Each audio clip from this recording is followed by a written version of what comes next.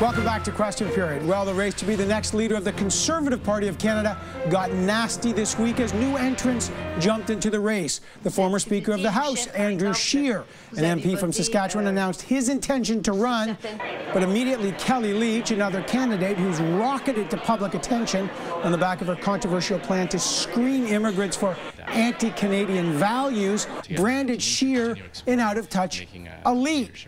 And then another Saskatchewan MP, Brad Trost, a social conservative, has now formally filed his papers to run as leader, as we have just learned today. Trost wants to reopen the debate about same-sex marriage and about abortion. How will he do that? Let's find out. Joining me now, Brad Trost. He has now officially entered the race. You have filed your papers now. Congratulations. Your hat's in the ring. You know, you represent the social conservative wing of the party, and we'll talk about that. But you and I both know for 12 years since you've been an MP as a social conservative with your position on same-sex marriage and abortion and assisted dying, we'll get to that, you are in the farthest reaches of the backbench. It's you know, you need binoculars to see guys like you out there. Do you feel that Stephen Harper, who had that social conservative coalition, essentially reneged on a bargain that he gave you to, to uphold your beliefs? Look, there were some things that we had agreed to. One of them, the Unborn Victims of Violence Act, that the government and its party policy had agreed to support that never was done.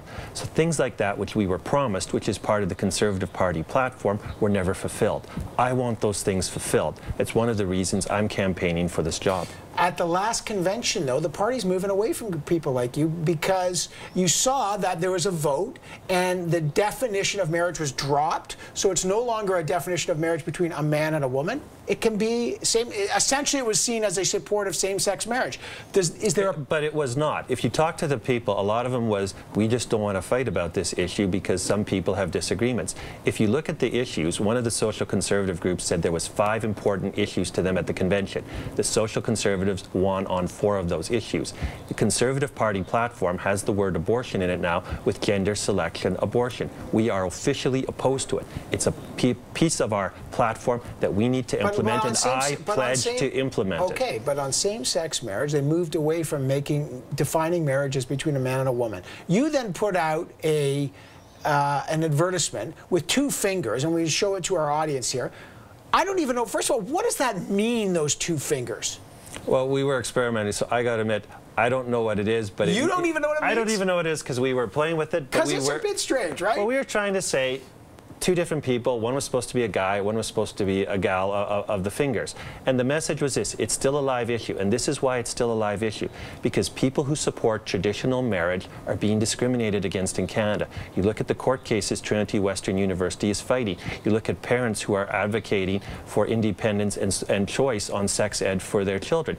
People want to have different views on this. But, so this is still a live issue, even if the main issue is still not being debated. But the question is, is there room for a social conservative who's got views on abortion, views on same-sex marriage that you've got.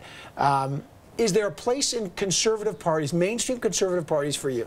I actually think we're growing. I actually think there's ways we can not only put it in our platform, which it already is, but ways we can reach out to the okay. general electorate and win votes because of this. If you became the leader, uh, would you put back in a definition of marriage that was only between a man and a woman? I would like to do that, and I would be open to a free vote by one of my members, and I would actually vote for that if it came forward. What do you say to people who are gay in your party? Is there room for a gay conservative in a Brad Trost party? I've worked with gay conservatives over the years. On Stockwell Day's leadership campaign, one of the first ones I did, one of our most prominent organizers was a great guy. Gay okay, conservatives I mean, like are gay conservatives. My best, some of my best friends are just, gay. Uh, and, and I get that. But how are you going to express, I want these people? There are conservatives who are gay who do not support gay marriage. Just because people put you in a box doesn't mean your ideas are in the box. Okay, what about what about on abortion issue? This, there's no formal abortion law in Canada, but we've got a Supreme Court decision that, that what would you do about abortion? Well, I've already said two things I will do, and I'll be releasing more on my platform. The two things directly I've said that involve the pro-life issue for the unborn, Unborn Victims of Violence Act, first proposed by Conservative MP Ken Epp. That's party platform. It would be law under a Brad Trost Conservative majority government. Second thing, we would deal with um, gender selection abortion. Whole House of Commons including the Liberals and the NDP, have said this is bad. Some people think that, you know, when you compared the sex education program in Ontario mm -hmm. to residential schools. I compared the principle underlying. The principle Yeah, underlying yeah, is the same, and it's an important principle. Well, well, well, Parental rights matter. Aboriginal Canadians. You said the the most underlying principle is the same. And it's exactly true. Aboriginal Canadians had their rights violated. Parental rights, the most important thing, by a big government interfering in their lives, telling them that the government knew more than they did uh, what was We're best talking for their about an education program, But and it's you're question even of but- whether but- or not you're drawing a- a, parallel between a, a, Because a it's about parents' rights. what has been called a cultural genocide, trying to And it was a horrific act, and that's why I said it was magnitudes of order greater, but the underlying principle is the same. as you and I both know, that is going to offend a lot of people, including a lot of First Nations. I don't think it will. There was actually a First Nation speaker who used the exact same analogy I did at the same rally. The sex ed curriculum Exactly. is the It was sex ed curriculum is the a same Mohawk principle Canadian teacher at the rally did the same thing. It was reported in the press. So I disagree. I don't think Canadians are that politically correct and touchy about issues. The important thing is we stand for conservative principles. Kellie Leitch is getting a lot of press for values, mm-hmm. screening Canadians for Canadian values.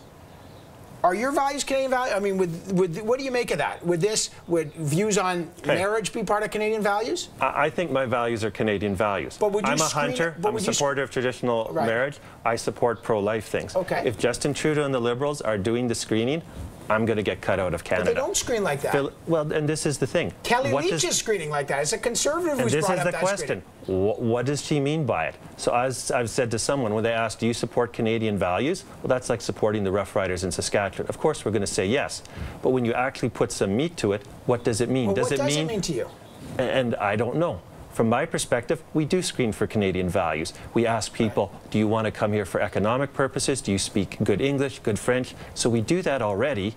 And we do that in a way that if you've actually been to ceremonies, you'll understand how absolutely So is that a red herring? Is, she just, is this a red herring issue? I think it's a make, ma- ma- made up issue that she's going to look for substance. This is something I feel passionate about. My wife's an immigrant, came to Canada in 2003. I've got family from China, from Latin America. I understand these people come to Canada because they want to be Canada. They're people that come because they choose Canada, not to use Canada. We all want to stop people coming to use Canada, but if you see the passion and the patriotism on Canada Day of new Canadians, you will be inspired. All right, Saskatchewan MP Brad Trost, who is running to be the next leader of the Conservative Party, and the race is heating up. Thank you, sir. Thank you.